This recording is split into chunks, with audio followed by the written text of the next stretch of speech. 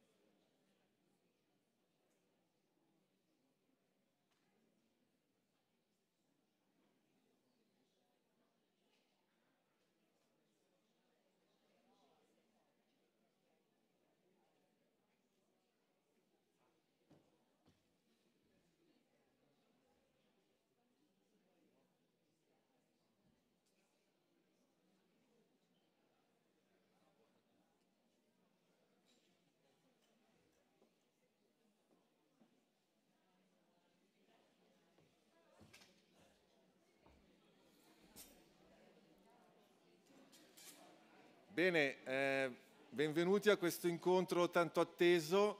Ha avuto un bellissimo lancio anche sui nostri media, per fortuna che hanno colto l'occasione di avere con noi una personalità eh, straordinaria e, e, uno dei massimi storici contemporanei, Davide Abulafia. Eh, sarà poi intervistato da Benedicta eh, Frölich. Solo due aneddoti per iniziare questo incontro eh, in una libreria a Mendrisio c'era esposto questo libro, Il Grande Mare, abbastanza in alto, non era proprio tanto raggiungibile. E quando abbiamo scelto il tema porti per questa edizione, sono andato a sfogliarlo e guardandolo ci siamo proprio resi conto che era il festival come lo volevamo, cioè una sorta di periplo nei porti del Mediterraneo e del mondo che praticamente raccontavano il succedersi delle civiltà. Ecco, noi ci immaginavamo questo festival come una mappa con tutti i porti, con le connessioni tra i vari autori di città marinare o di romanzi che comunque hanno a che fare con i porti e con la storia del mare. Un altro aspetto è che mh, ci sono quattro modi per contattare un, un, un ospite. Il primo se qualcuno lo conosce si può contattarlo direttamente, di solito è il migliore se si riesce. Il secondo è attraverso le case editrici, anche lì diciamo c'è una buona percentuale di riuscita. Il terzo è già un po' più impegnativo perché alcuni scrittori hanno l'agente e questo agente solitamente eh, fa, pagare profumatamente e gli ingaggi lì sono diciamo fuori portata per festival come il nostro. E poi c'è un quarto metodo che è per esempio andare sul sito dell'Università di Cambridge, scrivere una mail al professor Abulafia e dire ma noi ci abbiamo provato. E devo dire che con grande sorpresa il professor Abulafia ci ha risposto e quindi siamo veramente orgogliosi e onorati di averlo con noi per i suoi eh, lavori, i suoi studi, è stato praticamente premiato in, in tutte le misure, eh, sia in Italia che in Inghilterra, soprattutto anche poi, al di là di Federico II, che è un libro di riferimento, per questo Il Grande Mare che vi consiglio, io ce l'ho sul comodino e ci, in ogni pagina imparate qualcosa. Non mi piace fare pubblicità, ma questo libro veramente merita perché è un grandissimo libro. Come altro grandissimo libro è Storia marittima del mondo, questo probabilmente ci vuole un po' di tempo per leggerlo, ma è veramente anche questo un libro fondamentale. Quindi sono contento che c'è così tanta gente per questo incontro mattiniero e grande benvenuto a David Abulafia e a Benedicta Fröhlich, scrittrice che lo intervisterà e tradurrà.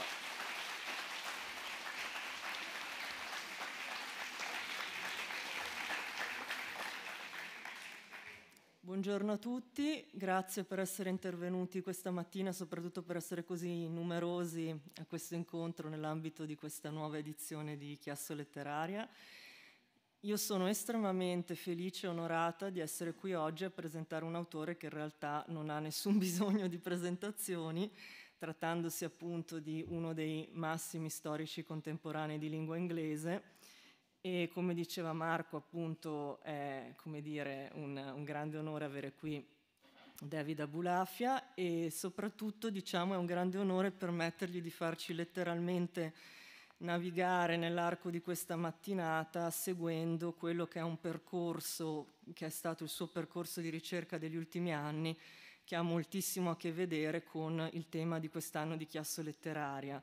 E se si, ci soffermiamo un attimo sui possibili significati della parola porti o porto che dir si voglia, appunto il titolo di questa edizione, noi possiamo avere ad esempio l'idea di porto come crocevia, come luogo di scambio, come porta, eh, parola peraltro simile per noi italofoni, verso altri mondi, altre culture, altre esperienze, modi di vita e influenze di ogni tipo, sia religiose che sociali che insomma di qualsiasi genere si voglia, ma anche di benessere e status economico grazie al, dire, al commercio per il quale le città portuali poi sono sempre diventate note. Però la cosa interessante è che il porto in realtà è solo punto di arrivo in questo caso, perché il grande gioco, come eh, ci piace chiamarlo, si svolge in realtà in mare aperto, nell'arco delle traversate necessarie appunto a spostarsi da un porto all'altro. E questa è una dimensione che è la dimensione eh, consona al nostro ospite di oggi, che può andare da diciamo, spostamenti relativamente brevi come sono quelli eh, che siamo abituati magari a considerare oggi, a traversate intercontinentali dell'antica durata di mesi o anche anni.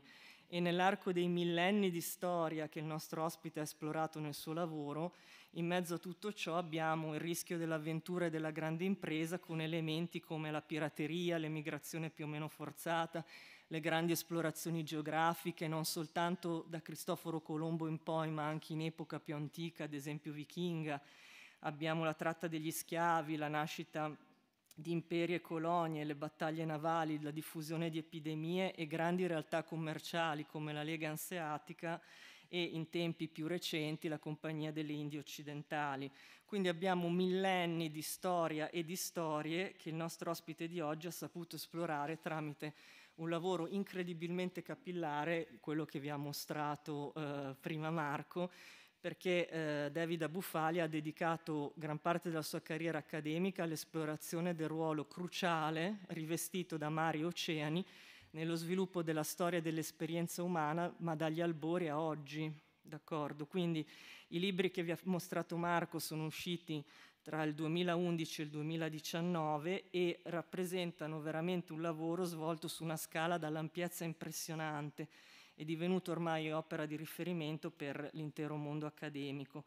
Quindi è proprio su questi due volumi che ci concentriamo oggi percorrendo insieme in qualche modo la storia dell'umanità in relazione a questo imprescindibile, indissolubile legame con la navigazione e vi basti pensare che la storia marittima del mondo incomincia, si apre alla data del 176.000 a.C., quindi questo vi dà l'idea del respiro delle ricerche di David Abulafia. Quindi abbiamo veramente la possibilità di spaziare sull'intera storia del genere umano in pratica. Eh, quindi ora, senza indugiare oltre, lascio la parola al nostro ospite, vorrei entrare subito nel vivo eh, chiedendogli come facendogli una domanda molto specifica.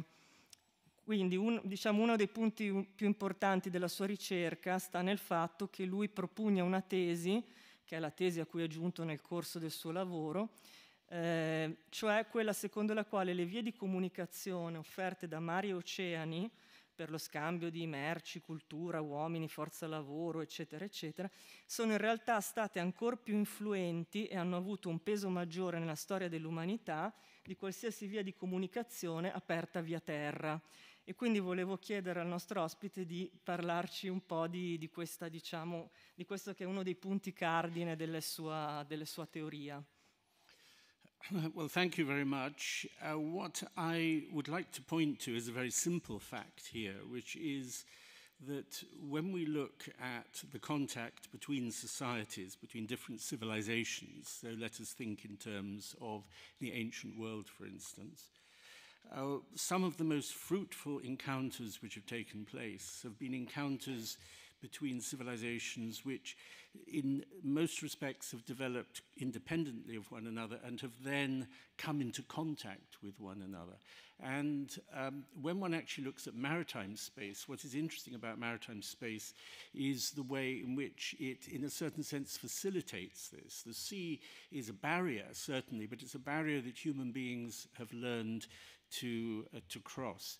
So let's think about the Mediterranean. Here we have the meeting point of three continents. I mean, we know that Europe and Asia are really one big continent. But from the perspective, for instance, of Herodotus, who divided the world into Europe, Asia, and what he called Libya, by which he meant Africa, uh, much more than what we think of as Libya nowadays, this idea that there are these three continents which had distinctive civilizations. If we go back to antiquity, we can think of the ancient Egyptian civilization, we can think in this part of the world of the Etruscans and the Romans, and we can think in Asia, the Phoenicians, and beyond the Phoenicians, other civilizations as well, Hittites and so on. And the contact between these groups facilitated by movement across the sea. That is something which is of fundamental importance. So, something which I've always tried to do in my writing about the history of the sea is to emphasize this fact of human movement across the sea. If we actually look at the way in which the history of the sea has been written, if we go back particularly to the work of the great French historian Fernand Braudel, There we find an emphasis on the idea, when he's writing about the Mediterranean, of a Mediterranean world. And that means not just the sea, but the countries around it. And of course, that is a very valid way of looking at the Mediterranean, even though you then have the problem how deep into the lands do you actually go? You know, which, which is Krakow, for instance, as he suggests at one point, to some extent, a Mediterranean city, a city deep in Poland. There are problems, obviously, there. Um, but I've, what I've always wanted to do is to look from the sea outwards and to look at those contacts across the sea. And I'm sure in the next hour you'll be able to hear more about this, but what I want to just plant in your mind at the moment is the nature of these contacts. Commercial contacts, tremendously important. If you read these books, you will find that there's an enormous amount about merchants and perhaps rather less about conflicts between empires, navies, and so on than you might expect. And then there's also the cultural transformations which occurred as a result of these contacts across the sea. So uh, the obvious example is the movement of religions, not just within the Mediterranean. We can also look, for instance, at the Indian Ocean, and we can think of the spread of Islam and Buddhism, and later on Christianity across the, the Indian Ocean. So these are channels that the sea, although not populated by by, by human beings in an ordinary sense. This is a tremendously important channel of communication between different societies. ok.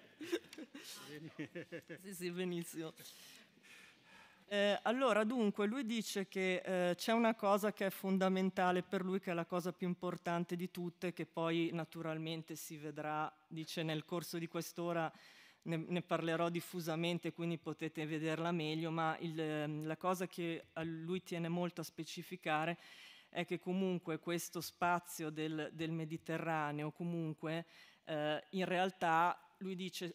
Eh, Cons- noi pos- possiamo considerarlo come lo vedeva Erodoto, cioè Erodoto considerava eh, tre continenti, Europa, Asia e Libia, perché per lui la Libia era di fatto un continente.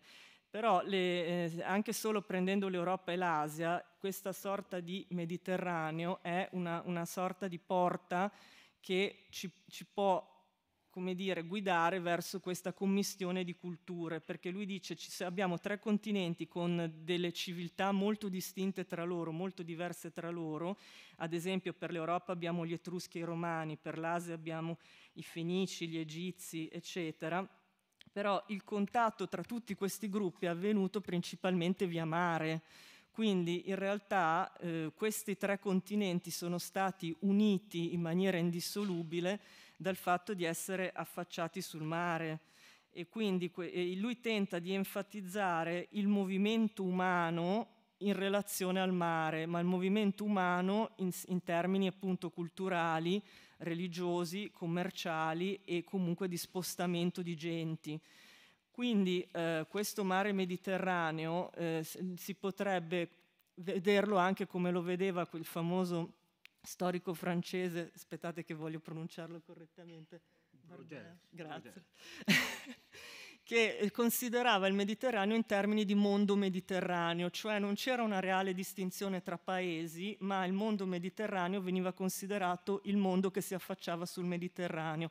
Lui dice naturalmente questo pone dei problemi, perché ad esempio nel caso di luoghi che sono molto all'interno, e faceva l'esempio di Cracovia in Polonia, quanto può essere considerato mediterraneo un luogo del genere, che è comunque non de- davvero affacciato sul mare. Quindi questa, questa ottica pone dei problemi, però, eh, quindi non c'è solo il mare, ma ci sono anche dei paesi, però lui vuole guardare dal mare in fuori, quindi è come se lui avesse un punto di vista che in primis vede il mare e poi si allarga dal mare verso l'esterno.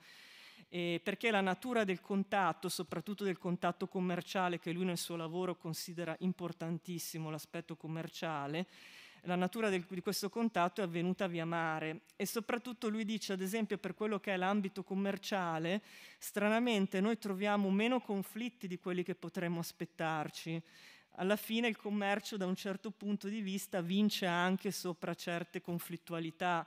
Quindi è molto importante l'aspetto commerciale, ma è molto importante anche l'aspetto della trasformazione culturale e anche chiaramente dell'influenza eh, religiosa, perché dall'Oceano Indiano chiaramente poi abbiamo avuto l'Islam, il buddismo, eccetera. Quindi comunque lui sostiene che i canali di comunicazione sono avvenuti grazie al mare. Ecco, questo è il suo, il suo punto fermo.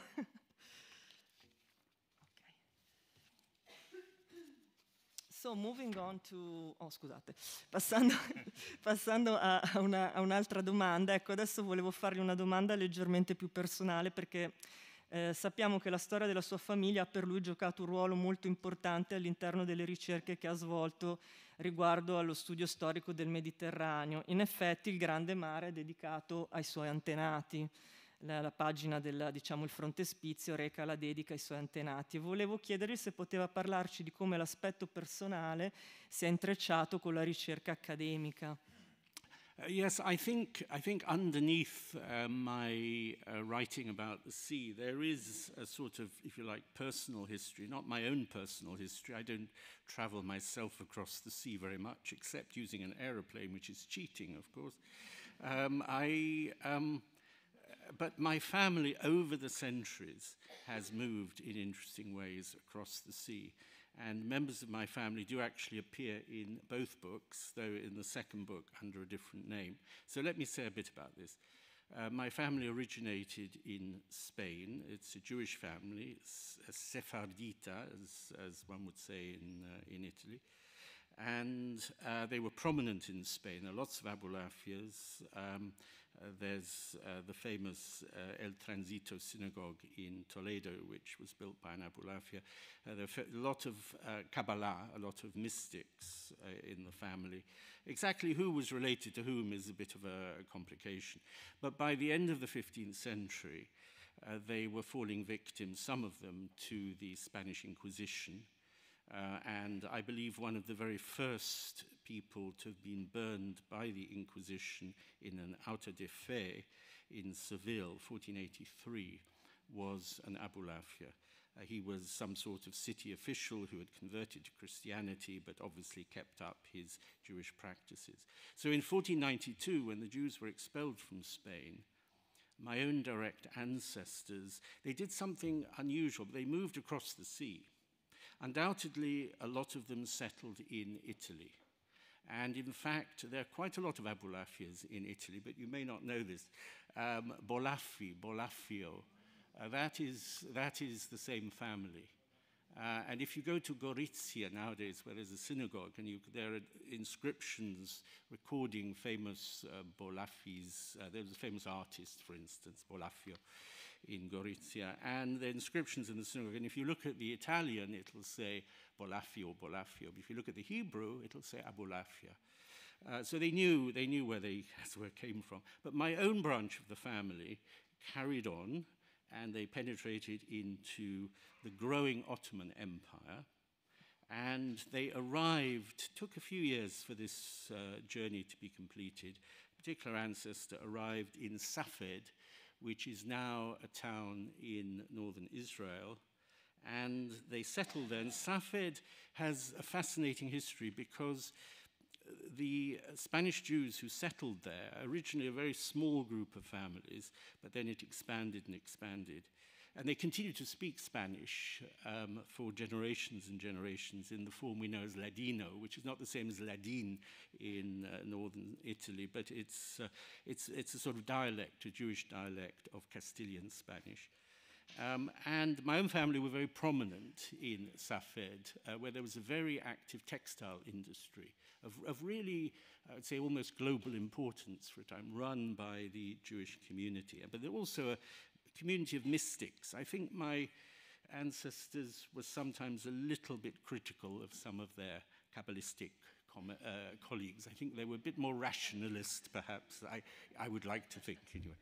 However, uh, so they stayed there for a long time, and then they actually went down to Tiberias, and they were involved in the rebuilding of Tiberias on the Sea of Galilee. And again, there's an Abulafia synagogue on Lake Tiberias. So a lot of the families still uh, live in that part of the world, in Israel, more Tel Aviv than in, in those cities, or Jerusalem or whatever. but uh, my grandfather, born in Tiberias, uh, when he was a young man, his father, who was quite an eminent rabbi, was sent, uh, I think, to give advice to the Jewish communities in Morocco who um, who depended very much, they looked towards the Holy Land as a place where, um, where they could get you know, the, the right level of spiritual advice. So anyway, he ended up in a place we now know as Essaouira, but um, uh, was then called Mogador. And my grandfather married into a family called the Korkos family, who were the Sultan's merchants. Uh, they were part of a group of families who worked for the Sultan of Morocco because Essaouira had been built as, uh, in the 18th century, it had been built as a center for trade with the outside world, maritime trade. So here we are, you see, I'm again, they're moving across water uh, uh, via Livorno, apparently. My grandfather arrived in, so there's an Italian element even in his journey as, I think, quite a young man, young boy. Uh, And then we find him traveling to England via Gibraltar in 1902 as a young man and getting involved in the tea industry, which the, his wife's family, the Korkos family, dominated, the export of tea to that part of the world. Um, which, uh, I mean, if you go nowadays to Morocco or Tunisia or wherever, drinking tea the whole time, well, that was actually something which was brought to those areas by these uh, Sephardim, by these Spanish Jews. So, so the maritime connection is something which is um, it's reflected in in my book, The Great Il Grande Mare, because I talk a little bit, particularly in the 17th century, when there was a great crisis um, in the Jewish world um, with a supposed Messiah, Shabbatai Tzvi, who presented himself as the Messiah, the the descendant of King David who would liberate the Jews. And my, one of my ancestors was very skeptical about this, um, and he was right. Um, and then um, in the Storia Marittima del, Mondo, I, uh, I talk quite a bit about the Korkos family, whose, whose documents have survived, and I have a cousin who's studied this very closely. Uh, so um, I was able to, to use a lot of that material as well looking at the late 19th century trade between that part of Africa and Europe. It's a fascinating story, actually, of, of uh, the sort of opening of that part of the world to European influences and how Europeanized this community became. So, so there is a sort of personal element of involvement in all this history. Thank you. Allora, dunque, lui dice sì, eh, io credo che al di sotto di, del mio lavoro ci sia comunque una connessione storica personale. Io non viaggio molto via mare, eh, a parte prendere l'aereo che naturalmente è barare in questo caso, però la mia famiglia in realtà si è mossa molto via mare in passato e la mia famiglia è una famiglia mh, ebraica sefardita, spagnola, e, ed è una famiglia che in Spagna era molto importante, nel senso che anche la, la sinagoga a Toledo una for- aveva una fortissima connessione con la mia famiglia e c'erano anche dei mistici, degli studiosi della Kabbalah nella mia famiglia. Eh, in Spagna comunque il mio cognome è eh, un cognome, come dire, nella comunità ebraica spagnola eh, molto ricorrente. Eh, naturalmente poi con l'arrivo dell'Inquisizione eh, io per quello che so, eh, credo che una delle prime persone che sono state diciamo, bruciate a rogo a Siviglia nel 1483 sia stato proprio un mio antenato che era, eh, si era convertito al cristianesimo, però naturalmente continuava a portare avanti le, sue, le, sue, le pratiche della sua religione originaria. E quando poi la mia famiglia fu espulsa dalla Spagna, eh, attraversò appunto il mare e si spostò in Italia Diciamo che ancora adesso ci sono molte tracce della mia famiglia in Italia, ad esempio se voi pensate comunque ai cognomi come Bolaffio, Bolaffio, in realtà in origine il, il cognome originale ebraico era eh, Abulafia e infatti la, la, sinagoga abbia, alla sinagoga di Gorizia abbiamo ampie tracce di questo perché ci sono delle iscri- iscrizioni diciamo normali con il nome Bolaffi e poi però c'è l'iscrizione in ebraico dove c'è Abulafia quindi comunque la, la, radice è quella. Il mio ramo della famiglia poi si è spostato ancora, è penetrato fino all'impero ottomano ed è arrivato nel, nella parte nord di Israele, Safed, giusto? La città di Safed dove si, si è fermato e qui c'era un... Um, questo gruppo appunto di, di um, ebrei che venivano dalla Spagna che hanno continuato a parlare spagnolo però in una forma di un dialetto particolare loro e eh, sono diventati poi molto importanti per quello che riguardava l'industria tessile. E, mh, mm, era una, fami- dire, una, famiglia interessante, critica ad esempio dei, dei cabalisti della, della Cabala per certi versi, e poi si sono spostati e eh, praticamente eh, da Tiberiade se, se siamo, abbiamo, hanno attraversato e lì, anche lì abbiamo una, una sinagoga a Bulafia E peraltro nel, in Israele una parte della mia famiglia da Israele poi si è spostata nuovamente perché eh, mio nonno era figlio di un rabbino importante che poi lo mandò eh, in Marocco, giusto, a Mogador, quella che adesso si chiama. E, e, e, lui si sposò in questa famiglia Curcos, che era una famiglia di mercanti, e nel XVIII secolo ehm, come dire, sempre eh, come centro di commercio marittimo in questa zona, lui da Livorno si spostò appunto in, in, Marocco e qui lui diceva è interessante notare come si spostò via mare sempre in un'ottica commerciale nuovamente, quindi abbiamo ancora il concetto del mare come via principalmente commerciale. E appunto sposandosi in questa famiglia Curcos, cosa successe? Che poi lui si spostò in Inghilterra dove diventò un nome importante nell'industria del tè e lui faceva notare come in realtà il tè in Inghilterra sia stato portato principalmente dai sefarditi e questa è una cosa che forse non, non tutti sanno. E quindi c'è una connessione marittima molto importante per lui con quello che riguarda la sua famiglia e poi naturalmente nel XVII secolo ci fu una crisi nel mondo ebraico dovuta all'arrivo di questo ipotetico messia e naturalmente uno dei suoi antenati era molto scettico al riguardo e lui dice aveva ragione perché in effetti poi non è andata bene. E, e quindi eh, lui ha trovato della documentazione relativa anche a questo momento della storia della sua famiglia perché infatti lui in Storia marittima del mondo parla di questa famiglia Curcos, cioè quella all'interno della quale suo nonno si era sposato e poi ha trovato tramite suo cugino delle carte che hanno confermato tutto ciò e eh, ha potuto avere una visuale più personale del commercio tra Africa e Europa grazie appunto al viaggio compiuto da, da suo nonno, praticamente poi da, dal Marocco all'Inghilterra. Quindi è come se ci fosse una, una rete da un certo punto di vista. E quindi lui dice sì, questa connessione marittima, oltretutto con un occhio di favore al discorso commerciale, è molto importante per, per lui. Ecco, poi volevo chiedergli, so che nel suo lavoro lei interpreta la storia del Mediterraneo come un modo per poter, diciamo, contestualizzare e interpretare anche gli eventi contemporanei, quindi come se studiare la storia del Mediterraneo ci offrisse una chiave di lettura per poter comprendere meglio il mondo contemporaneo attuale.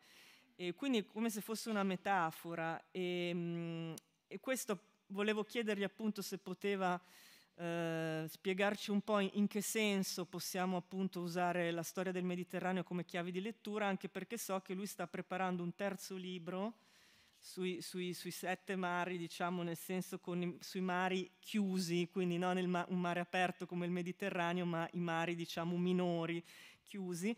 E mi pare di aver capito che questo terzo libro eh, abbia un, un legame con questo concetto, quindi volevo chiedergli un po' di illuminarci un po' su questo. Yes, yes, I think um, one of the ways in which a historian can contribute to the um, to the understanding of the world as we see it at this very moment is by looking at some of those changes that have taken place.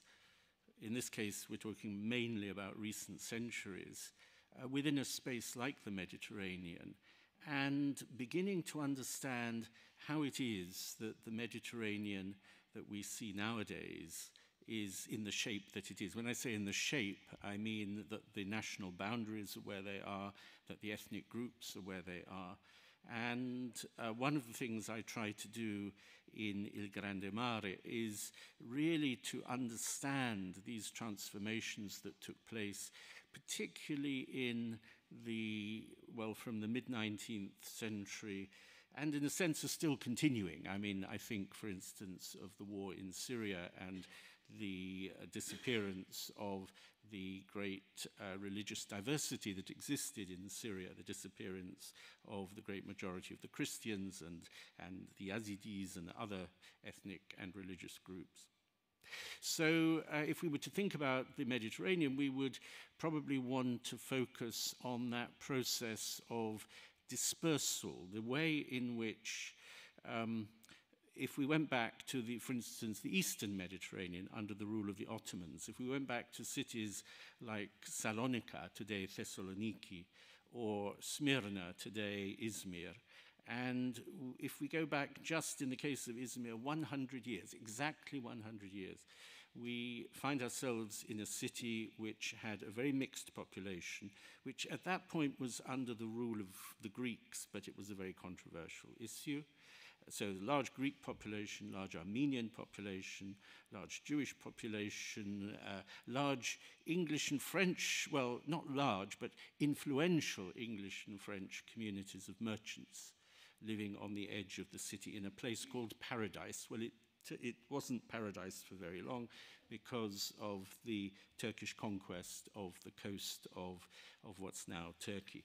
So uh, we actually have this horrific story of massacres, expulsions, the Greek community and the Armenian community suffering particularly badly. And then following on from that, the separation of populations, the transportation of uh, the Christians, Turkish Christians, many of whom didn't speak Greek actually, into Greece, and the, trans the transportation in the other direction of Greek Muslims, many of whom didn't speak Turkish, into Turkey.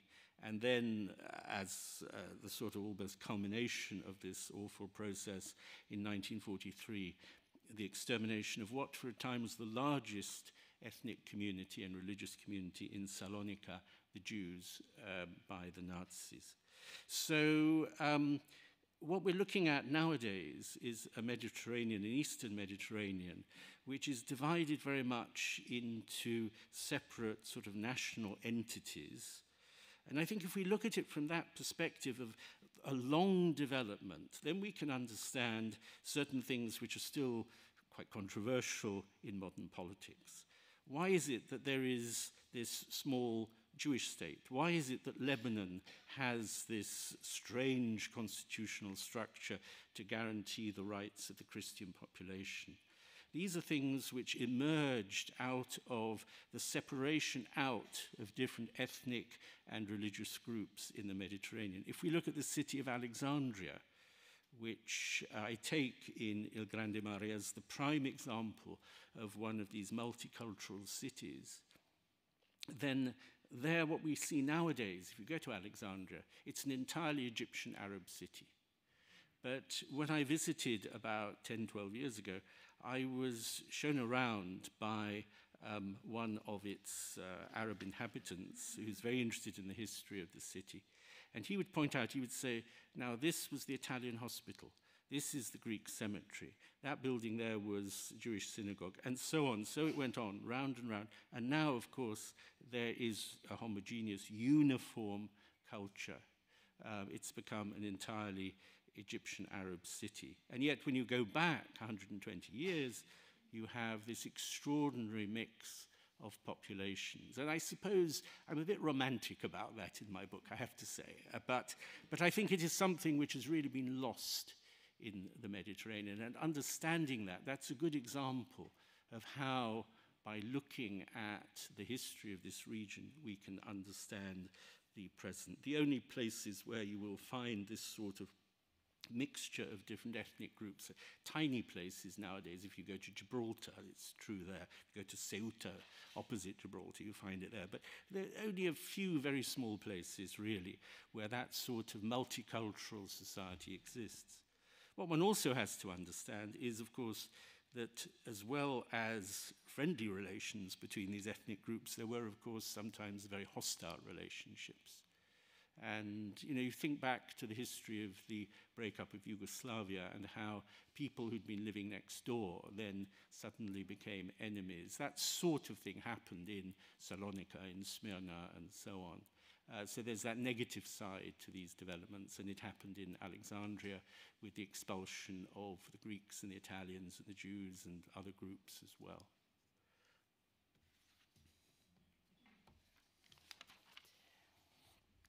Allora, lui dice uno dei modi in cui gli storici possono contribuire a comprendere quello che succede oggi è proprio eh, guardando i grandi cambiamenti che si sono sviluppati nel Mediterraneo nel corso dei secoli.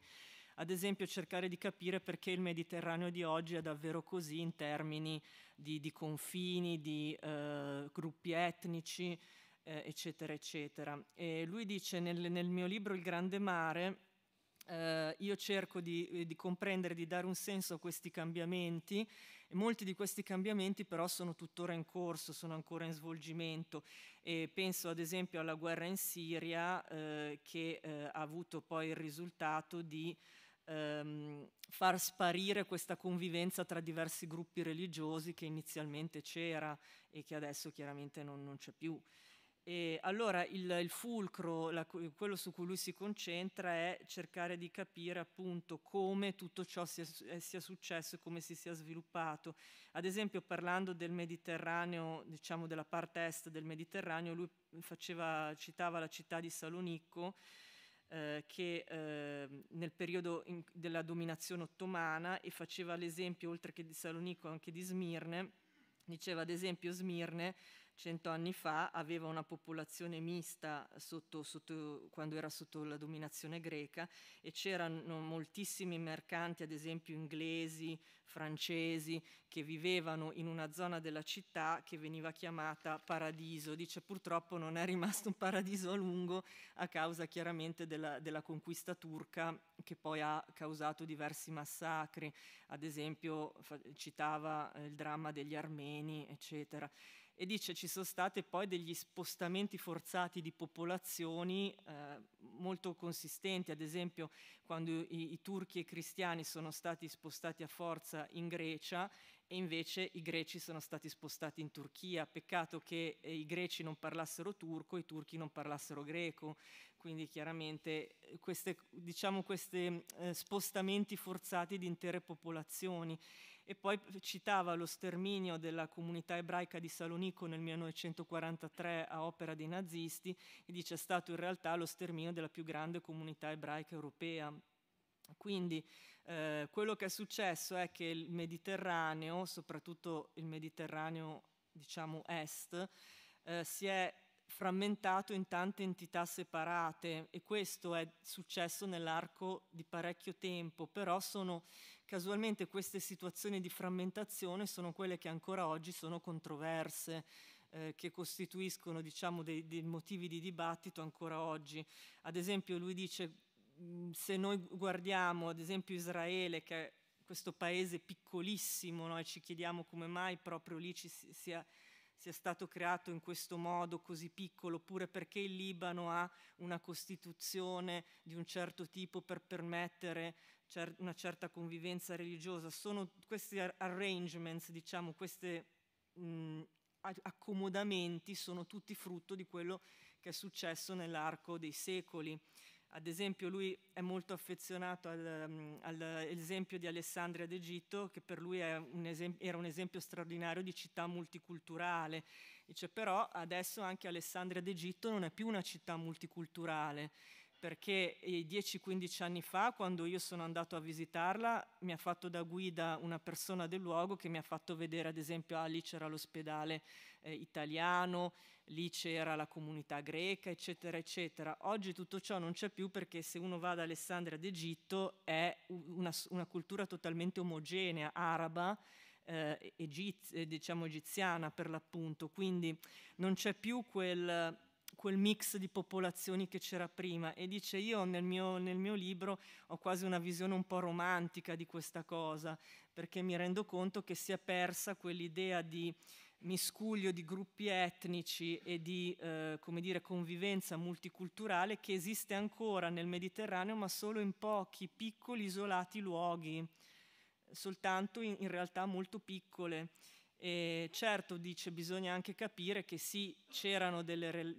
dire, dei rapporti positivi, amichevoli, ma ce n'erano anche di molt, molto ostili che hanno portato a questo stato di cose. Basti pensare alla Jugoslavia, in, a come i vicini di casa sono diventati in un attimo nemici. Quindi purtroppo c'è un, un lato negativo sempre, però dice la cosa che, che, fa effetto è la perdita di questa, diciamo, multiculturalità. Ecco. Could I add something about Ukraine? Of course. Yeah. yeah. if I could just continue with another example, a very um, pertinent example of how we need to look at the past history of these maritime spaces uh, to understand modern developments. Uh, this is the Black Sea, and this is the question of the history of Crimea, the history of Ukraine. All of this, here we can go right back in time to understand some historical relationships which, at this very moment, are proving so important. I'm thinking, for instance, of the way in which Ukraine and Crimea were right back, even in the ancient world, uh, even for ancient Athens, which was buying grain from Crimea. This was an extremely important area, uh, which Athens, because it didn't have an enormous area of land around it, which was capable of producing grain for this growing city. So it was bringing grain all the way from, from Ukraine. And this continued, and obviously continues, well, right up to the outbreak of this war, um, on an absolutely massive scale. If we go back to the Middle Ages, we find that the Genoese and the Venetians, but mainly the Genoese, established uh, uh, fortresses and cities along the coast of Crimea and other parts of the Black Sea. And the most important of them, a place called Kaffa in Crimea, which is now known as Feodicea. It is thought by some historians to have had a population around 1300 of around 50,000 people. Now, they weren't all Genoese, they weren't all Italians. The, the Italians ruled this city, but, but there was you see, this, is, this relates to what I was saying just a moment ago. This was one of these multicultural cities. So we have large numbers of Greeks, we have large numbers of Turks, we have large numbers of Tatars, people related to the Mongols, we have Armenians, we have Jews. It's the usual story of all these different groups working together for the trade, not just in grain, but also during the high point of the Mongol Empire we have silk, not very good silk. People imagine it was beautiful silk. It was the worst Chinese silk, which was being sent westwards all the way to Kaffa and to a place called Tana on the Sea of Azov, which was the Venetian base, and then exported. Now, a lot of this, the, the Genoese, they weren't just supplying Genoa with grain, they did that. Grain going all the way from Crimea to Genoa around 1300 when there were food shortages, as was often the case in Europe at that period. And this continued for a very long time, uh, but also supplying Constantinople, one of the great cities of the world, with the grain that it needed. So we're looking at a very active area of, of trade and cultural interaction as well, um, which has continued like that over the centuries. And particularly from the late 18th century, there was a great revival of all of this when Catherine the Great decided that Russia needed to have a window onto not the Mediterranean, but the sea that led into the Mediterranean, the Black Sea, with the great ambition, of course, ultimately of recovering Constantinople for Christianity and breaking into the Mediterranean. But for the moment, the major, the major aim was to establish a doorway onto the Black Sea. And so she founded Odessa in the late 18th century. And she declared that she cleared some of the population of southern Ukraine, the existing population, replaced them with Russian peasants, and declared that this area was Novorossiya, New Russia. Uh, well, the ethnic variety, uh, she, she couldn't replace the existing ethnic, uh, there's enormous ethnic variety there. And so this was, uh, this was something which in a way just stimulated the creation in Odessa of a new version of Kaffa, another city which was teeming with people from all sorts of different ethnic and religious backgrounds, speaking any number of languages and so on. And uh, one of the things which I am seriously concerned about at the moment, and I've written about this in the British press, is that perhaps uh, people are under, underestimating the importance of Odessa in Putin's campaign because it has not seriously been attacked yet. But if uh, Ukraine is completely cut off from the Black Sea, as we already see, it cannot export its grain, it cannot export its oil, uh, the, the sunflower oil, which is used in cooking right across the world. Um, and then beyond that, of course, Putin would like to reach Moldavia, and I mean, the danger is just uh, uh, tremendous. It's, it's a horrific prospect. So, um, so the Black Sea is coming back into focus. We sometimes tend to forget about it. We think of it just as a backwater, but it's coming back into focus. And it's sort of re engaging, if you like, with its uh, historical identity.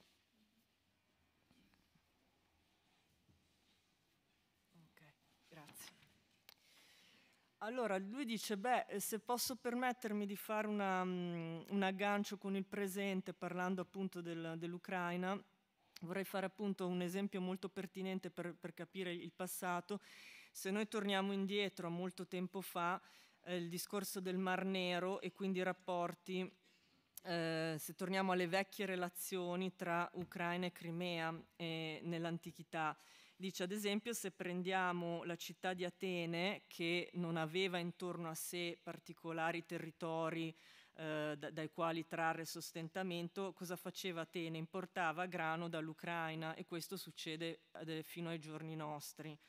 E, eh, quindi il ruolo dell'Ucraina e il ruolo anche della Crimea sono sempre stati eh, commercialmente abbastanza centrali in termini di storia mediterranea. Ad esempio, passando al Medioevo, i genovesi e i veneziani, ma soprattutto i genovesi, hanno eh, costruito una serie di fortezze, una serie di città in Crimea, di cui la più importante era questa città di Caffa, giusto? Che eh, gli storici stimano a un certo punto abbia ospitato addirittura una popolazione di circa 50.000 abitanti.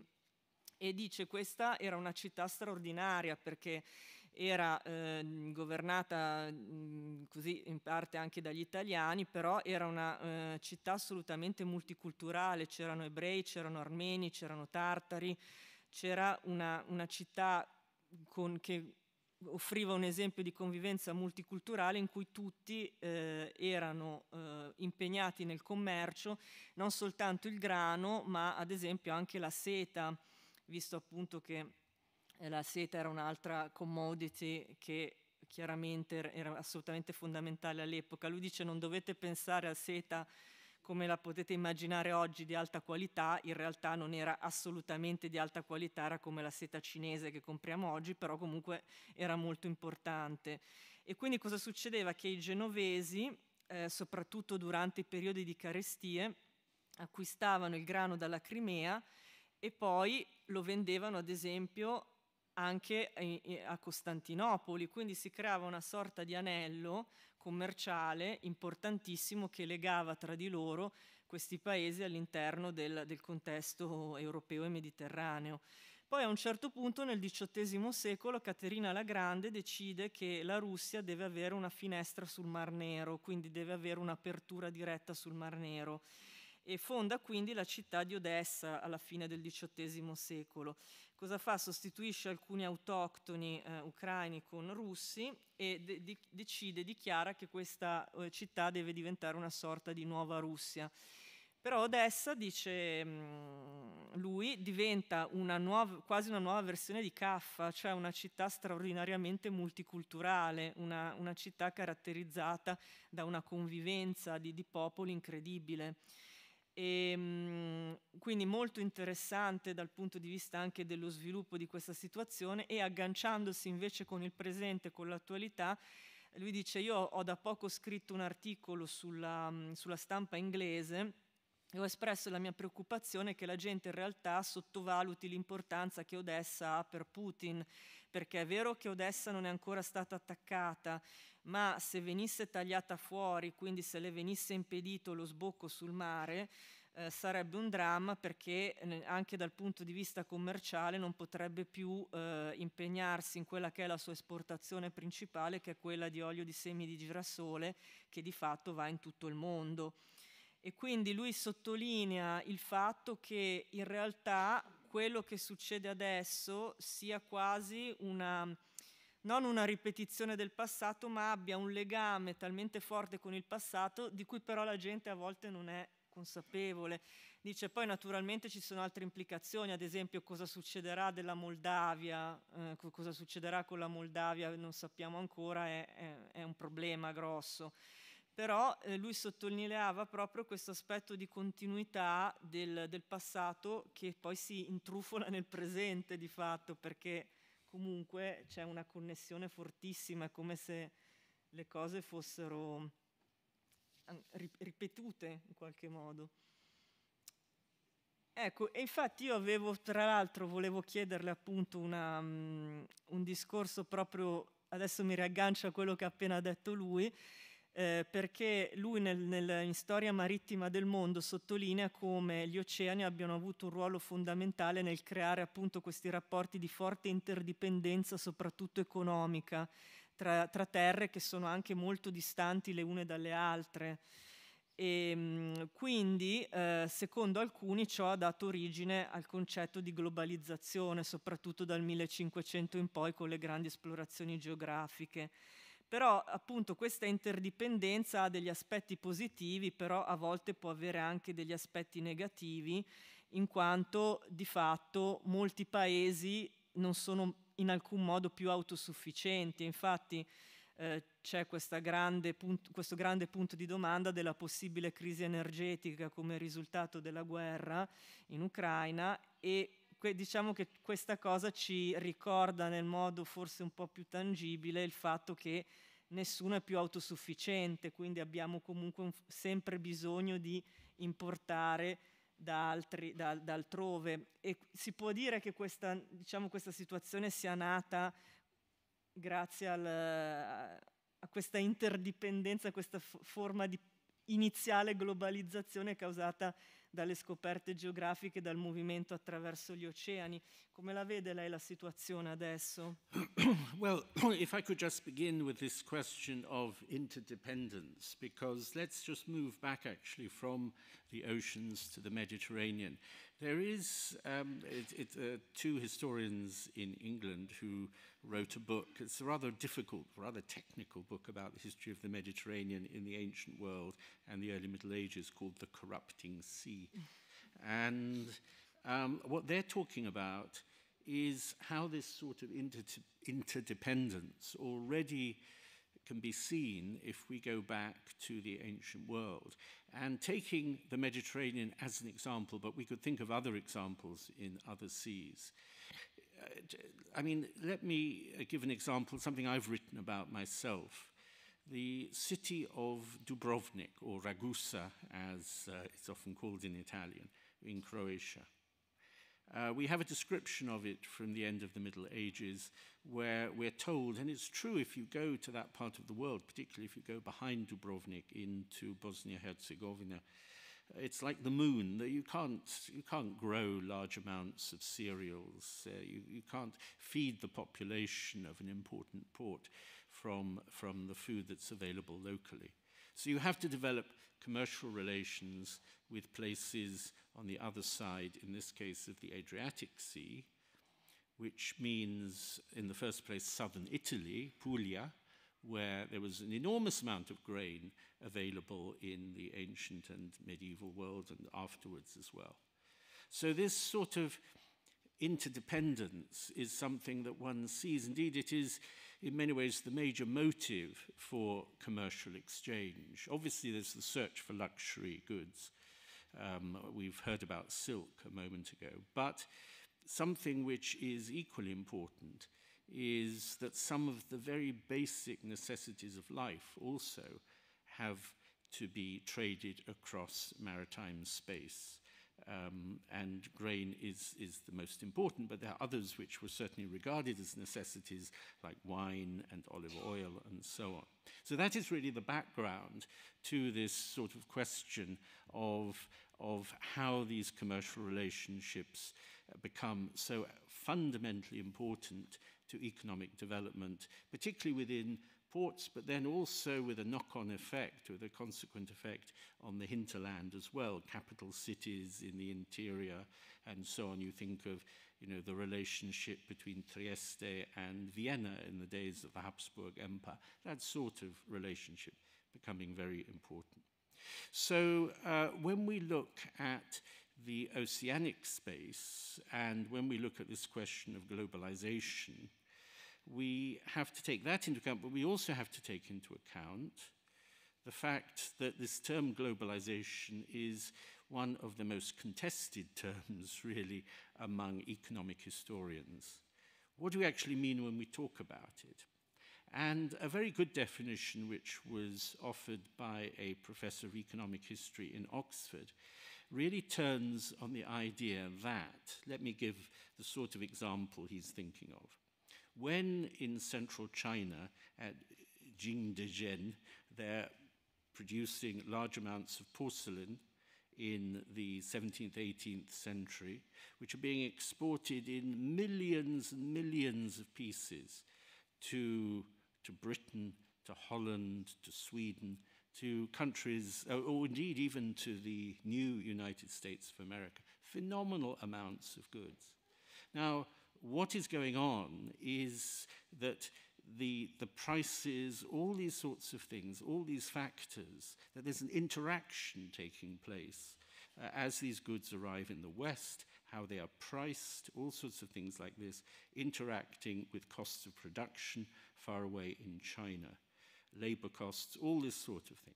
So when we talk about globalization, we have to think not just about the fact that goods are moving across great distances, but the way in which the economy at sometimes opposite ends of the globe is being molded by the fact of, this, of, of, these commercial connections, and sometimes connections on such a massive scale as I've just described. Uh, another example would be the Chinese tea industry, which supplied Europe, related to the porcelain industry, supplying Europe with absolutely amazing amounts of Chinese tea before the rise of the Indian tea industry in the 19th century. So um, that is how I think of globalization. um, and it, yes, the, the, the fact of commercial exchange is a very important fact here. But of course, we also have to bring into this a, another problem, which you might describe as a sort of political problem in a way, which is the issue of the conquest of territories, um, the creation of empires. I'm not just thinking of the territorial empires created by Western European countries, but also territorial empires being built in the Far East, for instance, by the Chinese, later on by the Japanese, and so on, and how that fits into this picture. Uh, and again, we have to be very careful about the way we use these terms. We, we tend, this is particularly true in America and in Great Britain. I don't know in this part of the world whether uh, it's had quite such an effect on people's thinking. But these terms, imperialism, colonialism, the ism element, right? So what is the ism element? It's, it's a way of generalizing about an enormous variety of different types of power relationship, uh, which could vary from just creating some sort of commercial bases, which is what the Portuguese originally aimed to do when they penetrated as far as India. They weren't trying to conquer India. Uh, or their bases along the coast of Africa on the way to India, which, was, which were created as something to facilitate the route to the source of spices in the east.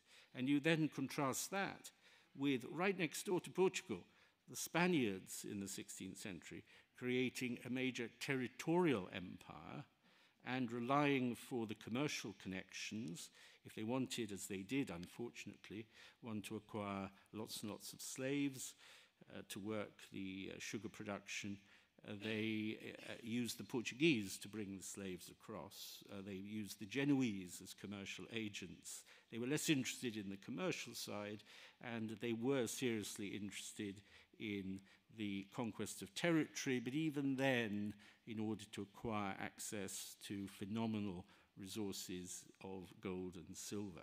So just making that distinction there, or you could contrast, I won't go into details, you could contrast the building of the British Empire in the 19th century with the building of the French Empire, which was much more local. I mean, beginning with Algeria in 1830, somewhere just across the water in the Mediterranean, and a different way in which empire would be practiced with the attempt to integrate Algeria into, uh, into the French political entity. Whereas the British Empire, there was a British historian uh, from Cambridge uh, 150 years ago, and he came up with this marvelous observation the British Empire was created in a fit of absence of mind. Nobody really sort of planned it, it just happened. And um, indeed, our, the library, the history library in Cambridge University, is named after this man, Seeley. Now the students want to rename it because they say that Seeley was an imperialist. In many ways, he was an anti imperialist, but this, part of the problem is these isms. People just assume that anybody who wrote about empire must have been an imperialist. Um, so we have to be, the word I would always use. Um, in English is, I don't know the Italian word for it, is nuance. We have to be aware of these very subtle differences between all these different cases. And there is a problem at the moment during what in Britain we call the culture wars, uh, that people lose a sense of these very subtle but very important distinctions.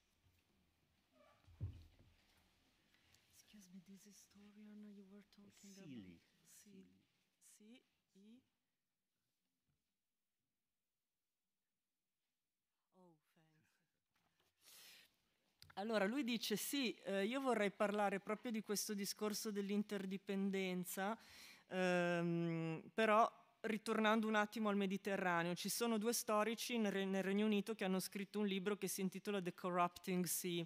Dice è un libro molto tecnico, un po' tostino, eh, però dimostra come questa interdipendenza di cui stiamo parlando in realtà si potesse vedere molto chiaramente già nell'antichità, fin dall'antichità e sicuramente non soltanto nel Mediterraneo. Ad esempio, se eh, pre- eh, prendiamo l'esempio di Dubrovnik o Ragusa eh, nel, in lingua italiana in Croazia, alla fine del Medioevo questa era una città che aveva il problema di non poter coltivare più di tanto sul proprio territorio locale, in quanto ha una situazione che lui diceva un po' lunare dal punto di vista del territorio, quindi non esattamente adatta all'agricoltura. Quindi ad esempio questa città era costretta nel Medioevo a importare eh, quasi tutto il grano che consumava dal sud Italia, nello specifico dalla Puglia. Eh, quindi lui dice la cosa importante è che noi dobbiamo ricordarci che questa interdipendenza non riguarda soltanto i beni di lusso, riguardava e riguarda tuttora anche le necessità basiche, diciamo, di base della, della sopravvivenza. E quindi tutto va commerciato e commerciato via mare, ad esempio eh, citava l'esempio dell'olio, del vino, eccetera. Quindi questo è un background, questo del, dell'interdipendenza commerciale, molto importante non soltanto per lo sviluppo del paese che lo pratica, ma anche in termini delle relazioni che questo paese ha con gli altri paesi che lo circondano, anche paesi molto lontani. Se ci spostiamo in ottica oceanica, quindi in ottica intercontinentale, dobbiamo però ricordarci che il termine globalizzazione è molto controverso e molto criticato. Eh, ad esempio eh, c'è un professore di economia a Oxford che ha parlato delle porcellane cinesi del XVII-XVIII secolo che venivano esportate in quantità pazzesche in Europa e negli Stati Uniti. E mm, cosa succede in un caso come questo quando c'è una esportazione di massa? Che non, non è soltanto il fatto che le merci si spostano da un punto all'altro, ma anche l'economia dei paesi eh, coinvolti in questo scambio viene modificata tramite ad esempio il discorso dei prezzi che si possono alzare o abbassare eh, in, in, diciamo a dipendenza di come prosegue questo commercio. Quindi l'economia viene mutata radicalmente da queste connessioni. E, eh, un altro esempio interessante che lui faceva è quello del tè proveniente dalla Cina, ad esempio anche lì un consumo come dire, cifre importantissime. Quindi lo scambio commerciale è importante, ma il problema politico sta, eh, ad esempio, anche nel, nel, discorso territoriale, non soltanto per l'Europa, ma anche, ad esempio, per l'Asia. Quindi come tutto ciò ha de poi delle ripercussioni anche sull'espansione territoriale. Lui dice attenzione a usare termini come imperialismo e colonialismo, tutte quelle parole che finiscono con ism, perché molto spesso è un modo di generalizzare delle dinamiche di potere che sono molto diverse tra loro. Ad esempio, lui dice, se noi facciamo il paragone tra i portoghesi quando sono entrati in India, i portoghesi non avevano interesse a eh, conquistare delle parti dell'India. Se però facciamo il paragone, ad esempio, con quando gli spagnoli hanno creato il loro impero usando portoghesi e genovesi per spostare gli schiavi, eh, è chiaro che invece, ad esempio, gli spagnoli avevano un forte interesse nella conquista di territori, quindi sono due modi completamente diversi di affrontare una, una certa politica. E, ad esempio l'impero britannico era molto diverso dall'impero francese, l'impero francese era più locale e c'era un tentativo di integrare ad esempio i territori in Algeria o comunque nell'Africa francese, c'era un tentativo di integrazione, mentre invece il, l'impero britannico, secondo questo, questo storico inglese che si chiama Sealy, dice è stato creato in un momento così di, di estemporanea così di desiderio estemporaneo e naturalmente questo storico è stato molto criticato anche nella sua stessa università perché adesso viene dimenti- eh, considerato un imperialista. Lui dice perché tutti quelli che scrivono di imperialismo adesso vengono automaticamente considerati imperialisti, quindi gli studenti vogliono cambiare il nome alla, biblioteca. alla biblioteca dell'università perché questo di colpo gli sta sulle scatole. In realtà non hanno capito che questo non è un imperialista per niente, solo che in questo momento in Inghilterra, come ahimè in altre parti del mondo, c'è la cosiddetta guerra culturale e quindi si perdono quelle che lui chiama le nuance, cioè le sfumature e dice attenzione alle sfumature perché altrimenti noi mettiamo tutto sullo stesso piano e non vediamo più le differenze tra cose che sono apparentemente simili ma in realtà sono state condotte in modo molto diverso.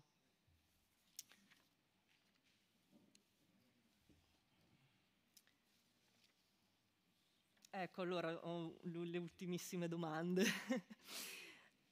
Um, dunque, um, lei sottolinea il carattere eterno del Mediterraneo come un'entità che ha alternato momenti diciamo, di eh, totale disgregazione ad altri di rinascita. E, um, oggi però vediamo che per certi versi l'identità mediterranea, quella che appunto lei chiama identità mediterranea nel suo lavoro, purtroppo, o per fortuna secondo alcuni, ha, lasci- ha, ceduto il posto a un altro tipo di identità che è quella in realtà europea politica dettata da Bruxelles, dalle necessità del, del, insomma, della comunità europea. Quindi dobbiamo pensare che il Mediterraneo non, più, non abbia più una valenza identitaria come l'aveva una volta perché diciamo, Bruxelles e le esigenze politiche hanno preso il sopravvento oppure la questione è un po' più sfumata di così? No, it's an interesting question because, not surprisingly, some of the Mediterranean countries, which are not even European, I mean, Morocco, for instance, have talked about becoming members of the European Union. But the reality is that the Mediterranean has become a frontier, and this happens with seas. Sometimes seas are uh, become barriers. It happened to some extent, for instance, in the 16th century when the Spaniards and the Turks were facing each other in the Mediterranean. It didn't prevent commercial exchange, but, it, but the political confrontation, the military confrontation, was a serious issue. So if we look at the present world, I'm not saying that there's that sort of confrontation in the Mediterranean. I, the Black Sea is another story. But um, uh, but I think it is clear that as Mediterranean countries have gravitated more and more into the European Union, they've looked to Brussels, they've looked to Frankfurt as the great German um, financial center. They've looked northwards and away from the Mediterranean. They've been seeking a European identity, sometimes at the expense of their Mediterranean connections. And of course, it has not been a happy story for some of the members of the European Union.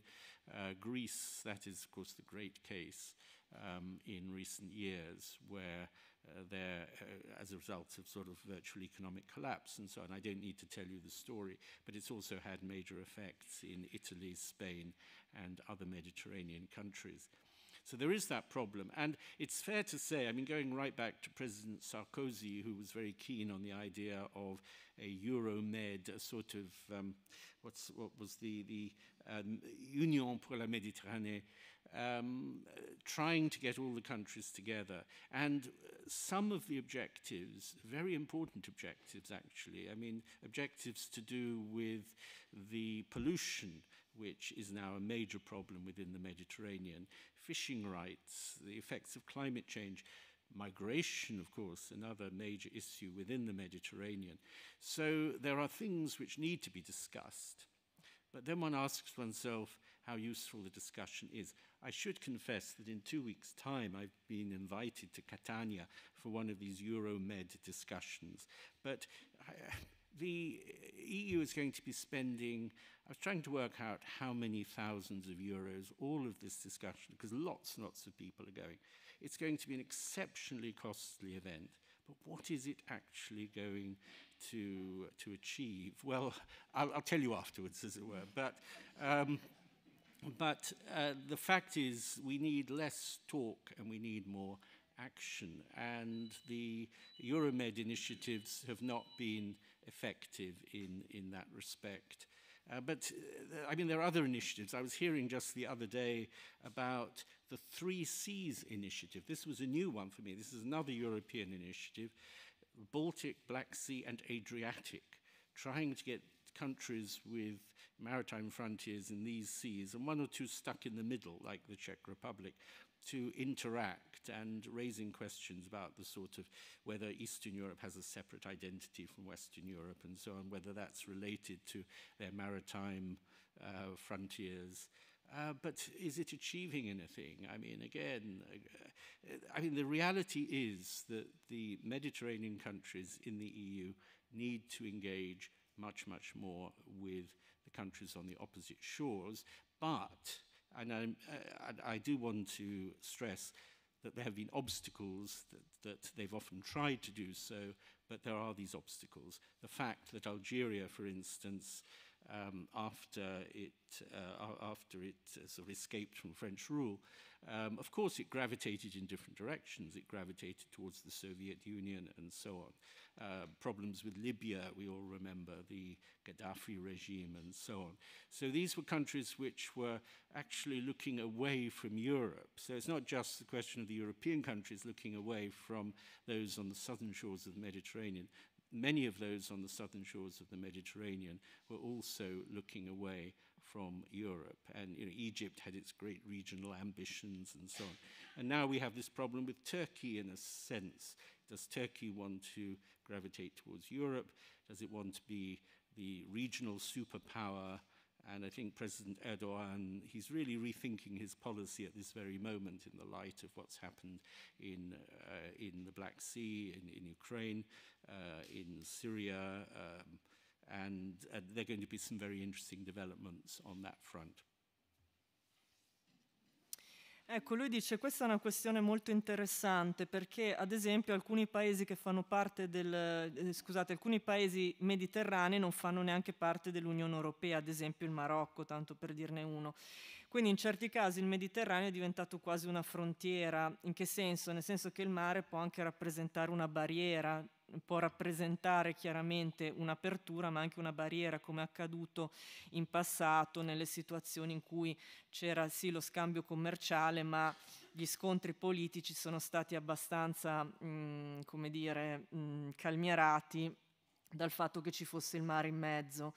Eh, certo che eh, comunque i paesi europei, eh, scusate, i paesi mediterranei si sono avvicinati sempre di più all'Unione Europea come identità, quindi a Bruxelles e al nord, quindi a un'idea più nordica e eh, quindi hanno assunto in tutto e per tutto un'identità europea a scapito di quella mediterranea e naturalmente in alcuni casi la cosa si è rivelata eh, problematica, come ad esempio nel caso della Grecia che ha pagato fortemente in termini economici questa, questa situazione. E dice poi ci sono delle iniziative, ad esempio Sarkozy eh, aveva pensato molto a questa sorta di Euromed, progetto Euromed, una sorta di unione per il Mediterraneo eh, che eh, quindi unisse tra di loro i paesi affacciati sul Mediterraneo per ad esempio occuparsi di questioni scottanti come quella che può essere l'inquinamento marino, il cambiamento climatico, i diritti di pesca, la migrazione, quindi cose da discutere al riguardo.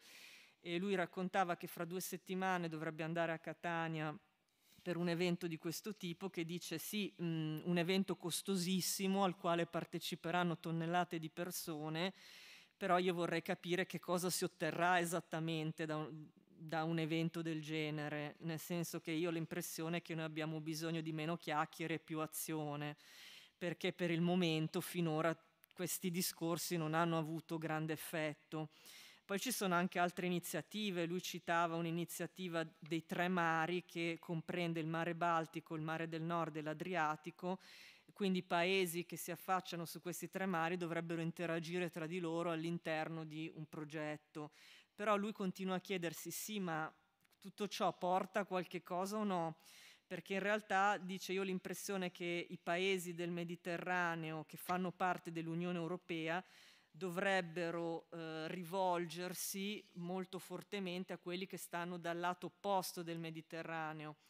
Ehm, però ci sono dei gravi ostacoli, ad esempio lui citava l'Algeria che dopo l'indipendenza ha gravitato più verso l'Unione Sovietica che verso il Mediterraneo e verso i paesi dell'Europa mediterranea. Lui dice ci sono dei paesi che fanno parte del bacino mediterraneo che però guardano altrove, cioè guardano dall'altra parte rispetto all'Europa, ad esempio l'Egitto, eh, quindi sono qui ma si rivolgono altrove. Ad esempio questo problema ce l'abbiamo con la Turchia, la Turchia apparentemente vorrebbe entrare a far parte dell'Unione Europea, ma sì o no? Boh, dice, eh, adesso io penso che Erdogan riconsidererà la situazione anche alla luce di quello che è successo adesso nel Mar Nero con la guerra e tutto quanto, però sono tutti punti di domanda, ecco, lui dice la situazione è un po' sospesa in realtà. Ecco, io ho un'ultimissima domanda per il professore che ha a che fare col fatto che lui nel Grande Mare sottolinea molto come il Mediterraneo sia stato il punto d'incontro delle tre religioni abramitiche, quindi cristianesimo, ebraismo e islam, e che sebbene in alcuni casi eh, tali religioni si siano scontrate tra loro, vedi l'esempio delle crociate, in altre situazioni invece si è riusciti a creare una convivenza pacifica e mhmm, pensavo al presente, l'emigrazione dall'Africa subsahariana eh, ha rimesso un po' in, um, dire, in circolo questo discorso della con, mhmm, convivenza religiosa e mi chiedevo qual è l'opinione del professore su una, sulla possibilità di una convivenza tra, come dire, eh, una forte preponderanza islamica in territorio occidentale, quindi un'integrazione possibile o non possibile, non so quale sia la sua opinione, tra appunto la migrazione di matrice islamica e la, gli occidentali del bacino europeo, ecco, cristiani, insomma. Yes, it's an interesting question, and we're at the sort of moment where we're beginning to perhaps discover some of the answers, but we haven't quite seen, obviously, how things are going to develop. I remember a few years ago I was at an event organized um, It was by the United Nations University in Barcelona, and the president of Catalonia, the then president of Catalonia, was present. And he was talking about the issue of who is a Catalan, which, of course, for Catalans is very important. But it was very interesting. It was not on ethnic grounds, it was not on religious grounds. He said everybody, and he meant also these migrants um, if they settled in Catalonia, he counted them too as Catalans. Of course, he would like them to learn the Catalan language rather than the Spanish language, but. Um, and that sort of positive approach, of course, is very helpful. But at the same time, and I'm reminded from last night when we had a dinner which was sort of celebrating the city of Marseille, um, that there also, of course, enormous tensions which have built up, and uh, particularly, I think, in, country, in France and in Holland, one to other countries, where there's been a process of creation effectively of ghettos for people coming from outside. So the question then turns also on that of religious identity. And one is, yes, I mean, a great, uh, very high proportion of these migrants are, of course, uh, Muslims. What, what one always has to remember is that although within those groups there are people that we would call Islamists who, who have a very fundamentalist, radical, uh, sometimes rather violent view of uh, how to practice their religion, that the great majority, of course, uh, resist this and are keen on much more. Um, a, much uh, fuller integration into the host society. But there are always also sources of tension. I mean, in Great Britain, we have uh, problems that within the Islamic community, uh, there seems to be a rather higher level of anti Semitism than in the wider community, and this is almost certainly, well, undoubtedly connected to the existence of Israel. And that is often a barrier when, Um, I, I should say my wife is professor of the study of the Abrahamic religions at Oxford, so she deals with a lot of this. And getting people together at that level, at the academic level, is easy and you think you're producing results. But of course, at, when you look at society at large, it's much more complicated.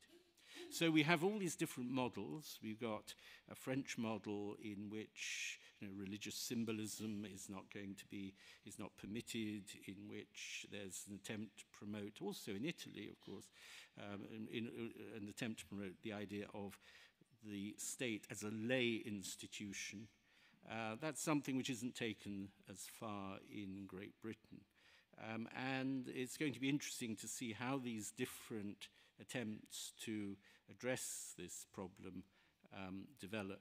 But just one final word is, um, and I think this was mentioned yesterday in the event I attended in the uh, Cinema Teatro, um, that the, the scale of this migration, we're only looking at the beginning. Um, it's partly to do with climate change, it's partly to do with the enormous improvement in health in countries like Nigeria, which has meant that infant mortality is much, much lower. uh, the emergence of a middle class speaking English who are not getting the opportunity to work as engineers, doctors, and so on. And they want to come to this part of the world where that sort of opportunity exists. This is going to increase in scale.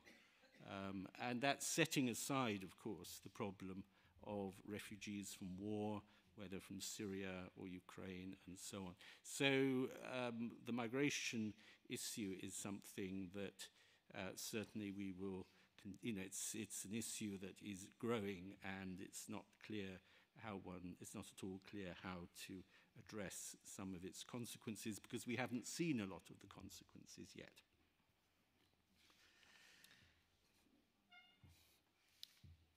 Allora, lui dice, ma questa è una domanda molto interessante perché in realtà la cosa è ancora in progress, quindi incominciamo a vedere delle cose, delle possibili soluzioni, delle idee, ma non sappiamo ancora bene eh, come affrontarle. Anni fa, dice, io ho partecipato a un evento delle Nazioni Unite nel quale il presidente della Catalogna faceva la domanda chi è catalano e in realtà lui non, non, aveva nessun interesse al discorso religioso o etnico, ma sosteneva che chiunque può essere catalano nel momento in cui vive in Catalogna, quindi anche i migranti lui automaticamente li faceva entrare nella, eh, dire, nella categoria, certo naturalmente nella speranza che magari imparassero il catalano, parlassero il catalano no, più che lo spagnolo, però comunque aveva questa visione molto aperta. E però lui dice, accanto a questo tipo di visione io mi rendo anche conto che ci sono delle innegabili tensioni, ad esempio ieri sera quando c'è stata la cena con gli scrittori si parlava di Marsiglia e lui ha pensato alla situazione ad esempio in paesi come la Francia e l'Olanda in cui si è creato un po' questa dinamica di questi ghetti dove poi vengono eh, come dire un po' stipati i, i migranti che arrivano in questi paesi E naturalmente per quello che riguarda l'identità religiosa è chiaro che molti di questi migranti, la maggior parte eh, chiaramente è musulmana, però sebbene all'interno di questi gruppi ci siano sicuramente degli islamisti, quindi delle persone che hanno una visione fondamentalista della loro fede, quindi molto intollerante, ce ne sono anche molti, lui dice appunto la maggioranza in realtà non è d'accordo e ha una visione più portata a un discorso di integrazione naturale. Dice in Gran Bretagna, ad esempio, in questo momento abbiamo dei problemi all'interno della comunità islamica perché abbiamo notato che c'è parecchio antisemitismo, sicuramente dovuto al discorso eh, di Israele, no? la politica israeliana e premette che sua moglie eh, insegna appunto professoressa di studi abramitici, giusto?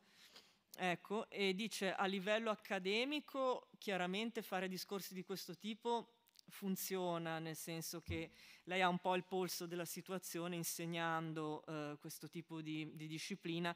Dice a livello accademico si riescono a fare dei discorsi improntati alla tolleranza, chiaramente per quello che riguarda la popolazione più generale non è così facile, non è altrettanto facile. Allora abbiamo ad esempio un modello francese che è quello in cui le, diciamo, le simbologie religiose evidenti non vengono tollerate.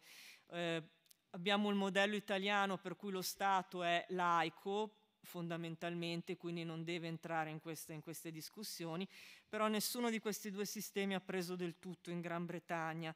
Chiaramente eh, abbiamo a che fare con modi diversi di gestire la situazione, bisognerà vedere quali funzionano e dove ci portano. È chiaro che lui conclude dicendo la, diciamo, la scala, quindi la portata di questa migrazione ha a che fare chiaramente col cambiamento climatico, ma anche con eh, i grandi miglioramenti eh, nella sanità in paesi africani come ad esempio la Nigeria, che hanno permesso di ridurre fortemente la mortalità infantile, quindi di creare un'esplosione demografica, e anche alla creazione di una classe media che ha la possibilità di studiare e quindi desidera spostarsi in altri paesi per poter avere una carriera professionale.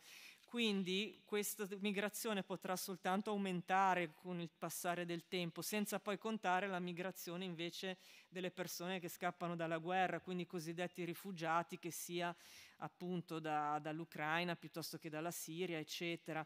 Quindi la, il discorso della migrazione è un problema che è ancora in progress e con il quale avremo a che fare per parecchio tempo e che stiamo ancora cercando di capire bene. Ecco.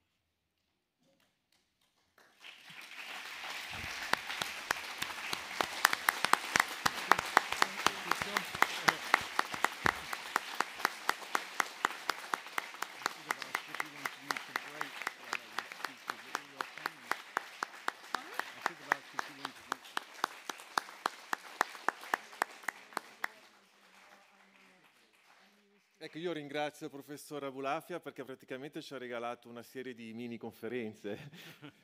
E grazie anche a Benedicta che è stata a Friuli, che è stata veramente una brava intervistatrice ma anche una bravissima eh, traduttrice. Insomma, avete capito che la storia bisogna saperla leggere, ma anche saperla raccontare e Davide Abulafia lo fa benissimo nei suoi libri, che sono appunto qui anche in vendita e se è disponibile magari anche a firmare e dedicare i libri, ci troviamo all'ufficio stampa dietro la, appunto, lo spazio libri.